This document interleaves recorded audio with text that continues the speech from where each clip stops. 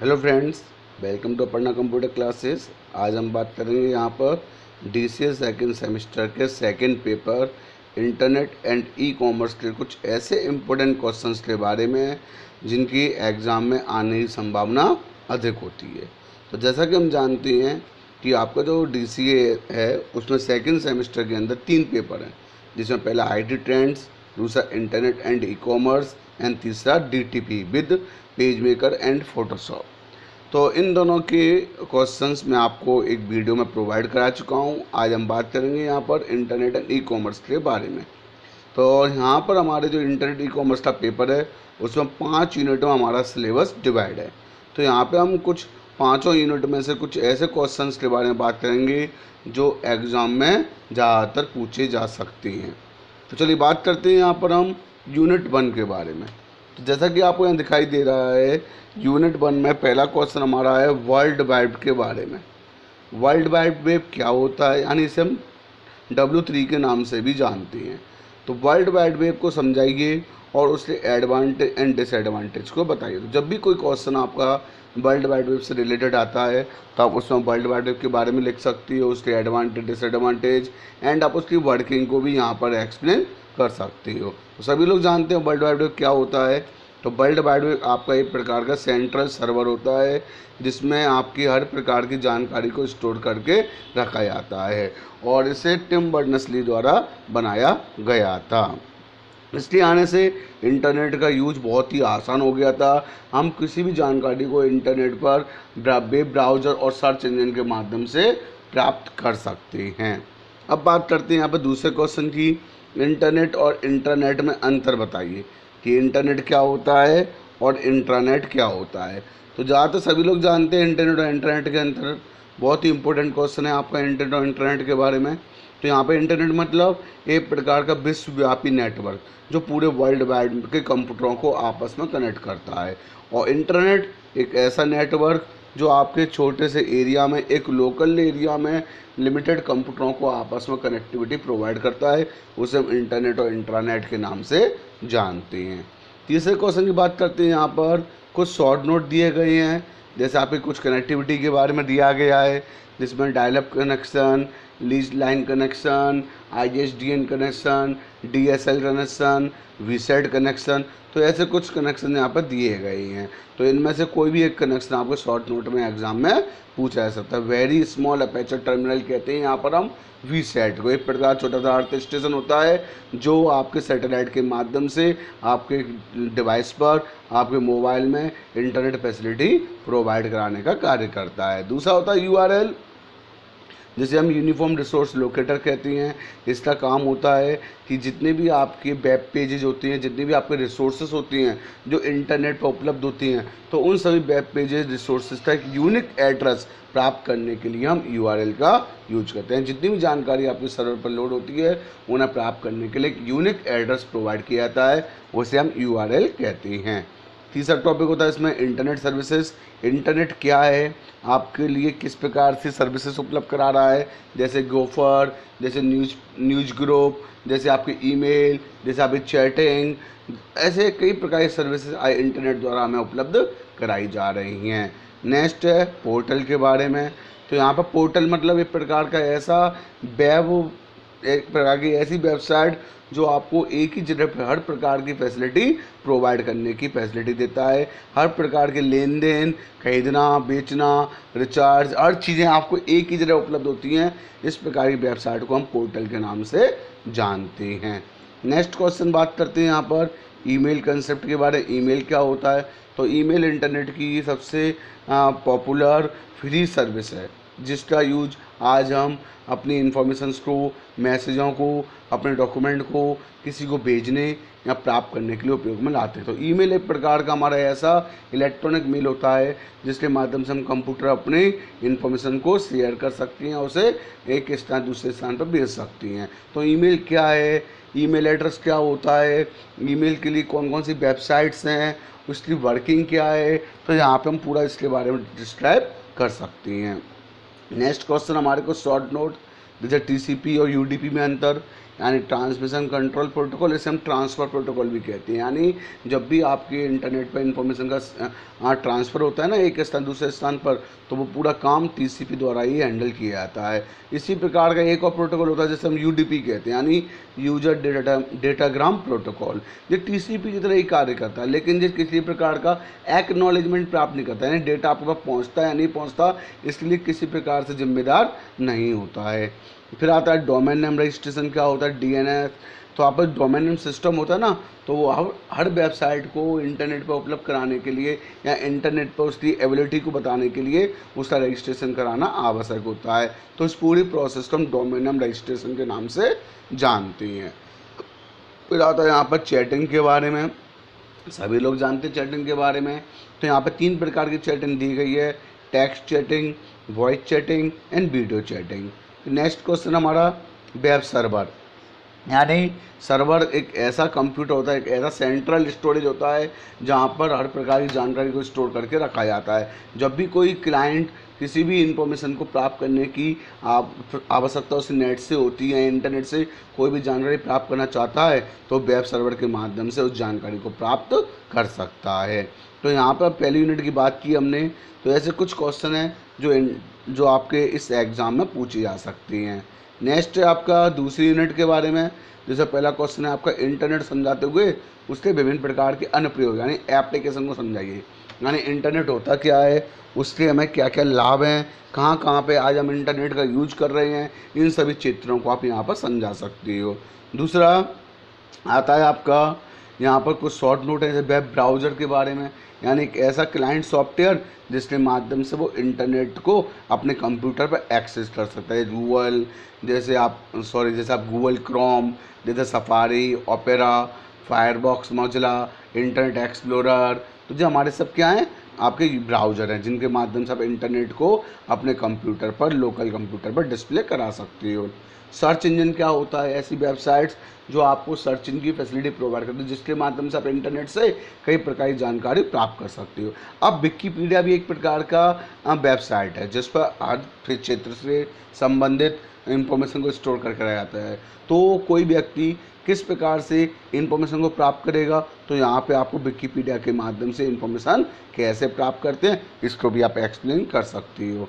इसके बाद फिर आता है आपका apply for PAN card passport and Aadhaar card तो कुछ नए सिलेबस में कुछ कुछ और एक्स्ट्रा क्वेश्चन जोड़े गए हैं, जिसमें यह बताया गया कि हम इंटरनेट के माध्यम से पैन कार्ड के लिए आधार कार्ड के लिए, या फिर अपनी टिकट बुकिंग के लिए पासपोर्ट के लिए किस प्रकार से अप्लाई करते हैं उसके प्रोसेस को समझाइए। नेक्स्ट आता है यहाँ पर एफटीपी और उसकी यूजेज एफटीपी क्या होता है फ़ाइल ट्रांसफ़र प्रोटोकॉल।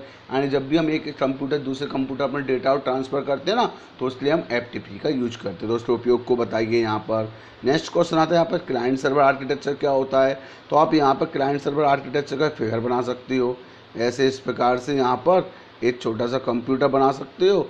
तो जी, आपका ये सेंट्रल कंप्यूटर हो जाएगा यहाँ पर। और उस सेंट्रल कंप्यूटर से आप कई छोटे कंप्यूटर यहाँ पर जोड़ सकते हो। तो इस पूरे इन्वायरमेंट इस पूरे मॉडल को हम क्लाइंट सर्वर मॉडल कहते हैं। यहाँ पर जो सेंट्रल कंप्यूटर है, ये सर्वर की तरह कार्य करता है तो जो एक्स्ट्रा कंप्यूटर जुड़े हुए हैं, वो आपको यहाँ पर क्लाइंट की तरह कार्य करते हैं, जो यहाँ पर विभिन्न प्रकार की रिक्वेस्ट भेजती हैं।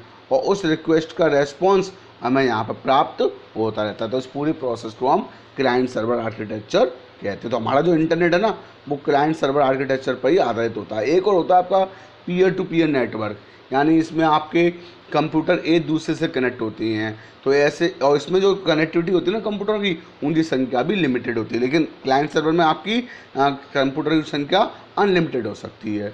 नेक्स्ट क्वेश्चन है आपका टेलनेट और रिमोट लॉगिंग को समझाइए। यानी एक स्थान से दूर रखे हुए कंप्यूटर को जोड़ना या दूर रखे हुए कंप्यूटर पर लोकल कंप्यूटर तरह कार्य करने के लिए हम रिमोट लॉगिन का यूज़ करते हैं। और इस पूरे कार्य को करने के लिए टेलनेट यानी टेलीकम्युनिकेशन नेटवर्क प्रोटोकॉल का यूज़ किया जाता है। नेक्स्ट क्वेश्चन आता है तीसरी यूनिट में एच को समझाइए। तो एच क्या है, किस प्रकार की लैंग्वेज है तो इसका यूज़ किस लिए किया जाता है? तो एच हमारे प्रकार की W Y S I W Y G यानी what you see is what you get concept आधारित लैंग्वेज है, जिसके माध्यम से हम अपनी वेब पेज तैयार कर सकते हैं वेबसाइट बना सकती हैं। तो इसके कौन कौन से वर्जन है कौन कौन से एलिमेंट हैं, आप यहाँ पर इसे समझा सकती हैं। दूसरा आता है तो शॉर्ट नोट एच एडिटर जैसे नोट पैड फ्रंट पेज है ना? तो इस ड्रीम व्यूअर तो ऐसे कई प्रकार के एडिटर हैं जिनके माध्यम से हम एस लैंग्वेज को आसानी से लिख सकती हैं। इमेज टैग को समझाइए कि आप एस के माध्यम से वेब पेज में इमेज कैसे लगाते हो तो उसके लिए इमेज टैग का यूज़ किया जाता है। लिस्ट टैग तो मैंने आपको यहाँ पे तीन प्रकार की लिस्ट बताई हैं ऑर्डर लिस्ट अनऑर्डर लिस्ट और डेफिनेशन लिस्ट तो यहाँ पे इन्हें एग्ज़ाम्पल के माध्यम से आप एक्सप्लेन कर सकती हो। फिर आता है आपका हाइपरलिंक टैग कभी कभी यहाँ पर एंकर टैग के नाम से भी इससे पूछा जा सकता है। तो आप हाइपरलिंक भी समझ सकते हो और एंकर टैग का यूज़ भी कर सकती हैं। नेक्स्ट क्वेश्चन आता है यहाँ पर S T M L form क्या होता है? फॉर्म को समझाते हुए फॉर्म के लिए कौन कौन से टूल्स यूज़ किए जाते हैं? जैसे आपके टेस्ट टूल्स जैसे आपके रेडियो बटन जैसे आपके सबमिट बटन जैसे आपका चेक बॉक्स जैसे आपका लिस्ट बॉक्स तो ऐसे कई प्रकार के टूल्सों का यूज़ करके हम अपना एस फॉर्म तैयार करते हैं। तो वैसे आप यहाँ पर एक फॉर्म का कोड भी लिख सकते हो। फिर आते यहाँ पर एस टेबल को समझाइए। तो टेबल टैग क्या होता है? टेबल टैग आपका यानी एक प्रकार की इन्फॉर्मेशन टेबल के रूप में लिखने के लिए हम टेबल टैग का यूज़ करती हैं। टेबल के अंदर कई प्रकार की रो और कॉलम होती है, जिनके माध्यम से हम टेबल को रिप्रेजेंट कर सकती हैं। फिर आता है वेब पेज को डिज़ाइन करने के लिए, उसके बैकग्राउंड को क्या चेंज करेंगे हम? तो यहाँ पे हम बॉडी बैकग्राउंड का यूज़ कर सकती हैं टेक्स्ट का यूज़ कर सकती हैं। तो बॉडी के कुछ एट्रीब्यूट है जिनके माध्यम से हम वेब पेज की बॉडी को अट्रैक्टिव बना सकती हैं। और उसमें अलग अलग टेक्स्ट को अलग अलग कलर अलग अलग साइज़ में रिप्रेजेंट करने के लिए हम यहाँ पे हम फ़ॉन्ट टैग का यूज़ भी कर सकती हैं। तो फ़ॉन्ट टैग में आपको यहाँ पर तीन चीज़ मिलेंगी फ़ॉन्ट फेस फ़ॉन्ट साइज़ और फ़ॉन्ट कलर नेक्स्ट फिर आता है आपका चौथी यूनिट जावा स्क्रिप्ट के बारे में।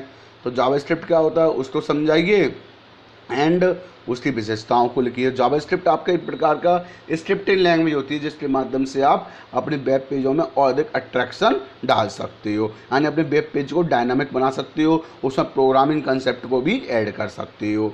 जावा स्क्रिप्ट में ब्रांचिंग एंड लूपिंग स्टेटमेंट क्या होती हैं? तो if if else else ladder while do while for तो जो हमारे ब्रांचिंग और लूपिंग स्टेटमेंट कहलाते हैं। तो जिनके प्रोग्राम मैंने आपको क्लास में बताए थे तो आप उन्हें समझ सकते हो और यहाँ पर ब्रांच एंड लूपिंग को आसानी से समझा सकते हो। जावा स्टेट में कौन कौन से इवेंट होते हैं? तो मैंने आपको कुछ फ़ंक्शन के प्रोग्राम बताए थे, उसमें मैंने आपको कुछ इवेंट बताए थे। जैसे on blur on focus on load on unload इसके बाद on submit on mouse click तो ऐसे बहुत सारे इवेंट हैं जो आपके जावा स्क्रिप्ट प्रोग्रामिंग के लिए उपयोग में लाई जाती हैं। तो जावा स्क्रिप्ट हमारी एक प्रकार की इवेंट ड्राइवन प्रोग्रामिंग भी है। यानी इसमें कई प्रकार के कंट्रोल के, कई प्रकार के इवेंट परफॉर्म कर सकते हैं। तो बहुत ही इंपॉर्टेंट क्वेश्चन है जो, आपको ज़्यादातर एग्ज़ाम में पूछे जाते हैं। इसके बाद फ़ंक्शन के बारे में बताइए फ़ंक्शन क्या होता है जावा स्क्रिप्ट में?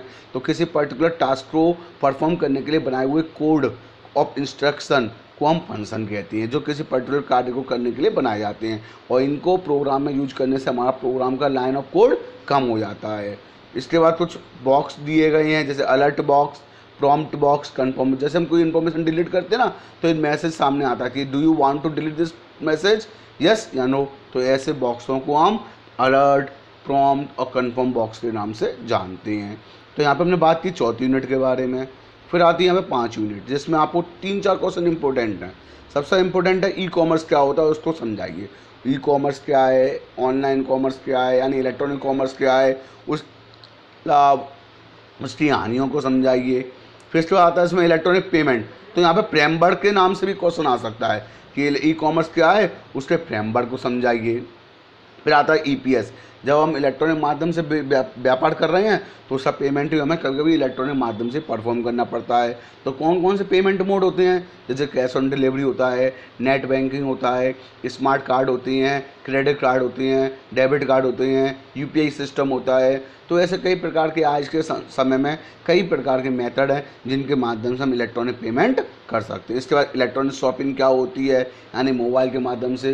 तो आज आप देख रहे हो बहुत सारी वेबसाइट है जैसे अमेजन फ्लिपकार्ट स्नैपडील तो ऐसी बहुत सारी वेबसाइट के माध्यम से आज हम इलेक्ट्रॉनिक कॉमर्स कर सकते हैं इलेक्ट्रॉनिक मार्केटिंग कर सकती हैं मोबाइल कॉमर्स का यूज़ करते हैं यानी सभी वेबसाइट आज ऐप के रूप में हमारे मोबाइल में उपस्थित हैं जिसके माध्यम से हम मोबाइल कॉमर्स का यूज़ भी कर सकती हैं भीम यानी भारत भारत इंटरफेस और मनी यानी इंडिया द्वारा गवर्नमेंट ऑफ़ इंडिया द्वारा बनाया गया एक ऐसा यूपीआई सिस्टम है जिसके माध्यम से हम अप, अपनी पेमेंट को मनी को एक स्थान, दूसरे स्थान पर ट्रांसफ़र कर सकते हो। तो ऐसे कुछ इंपॉर्टेंट क्वेश्चन है जो आपके इंटरनेट पेपर में आने की संभावना दिन की ज़्यादा होती है। तो जी, जो आपका कलेक्शन बनाया गया है एग्ज़ाम का, बहुत ही इंपॉर्टेंट है। कोशिश कीजिए कि आप इनको अच्छे से पढ़ें और ये जो क्वेश्चन दिए गए हैं, इनकी कोई गारंटी नहीं कि एग्ज़ाम में आए। लेकिन बहुत ही इंपॉर्टेंट क्वेश्चन है जो आपको एग्ज़ाम में तैयारी करने के लिए सहायता प्रदान करेंगे। यदि किसी प्रकार कोई क्वेश्चन में डाउट्स हो